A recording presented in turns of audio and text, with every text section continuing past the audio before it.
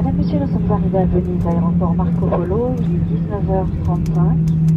Votre ceinture de sécurité doit rester attachée jusqu'à l'extinction de la consigne lumineuse.